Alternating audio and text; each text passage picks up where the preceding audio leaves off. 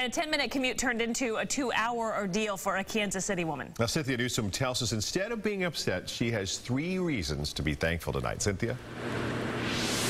Well, if you have ever had one of those days where you're thinking, this can't be happening to me, then you will relate to the woman you're about to meet.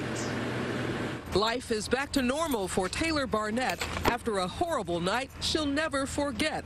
Just after 1 o'clock this morning, in the brunt of the snowstorm, her car got stuck.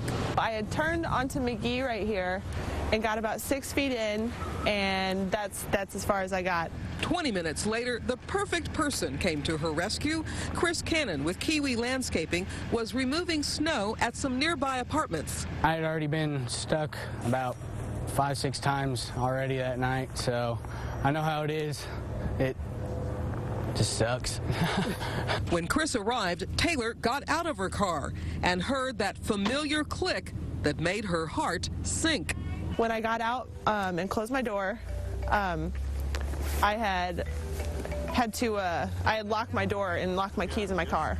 Chris let her get in his truck to stay warm and even let her use his cell phone to call her mom, who called a locksmith. I would expect someone to do it for me if I was in the same position, so. And I'm going to share the love and, you know, the next time I see somebody who needs help, I, I have to help them now.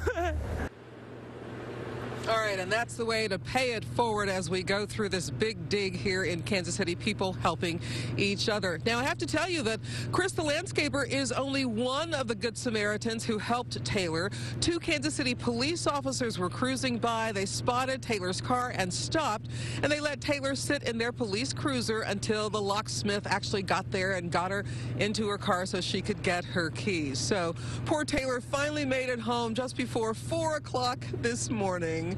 Good for her. Reporting live, Cynthia Newsom, 41 Action News.